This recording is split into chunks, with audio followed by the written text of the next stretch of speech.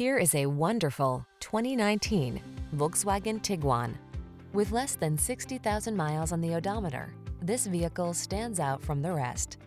This versatile Tiguan was built to keep up with your family's busy lifestyle. Standout fuel efficiency, available third-row seating, flexible interior configuration, and advanced safety and connectivity tech make road trips and errands easier than ever before. The following are some of this vehicle's highlighted options.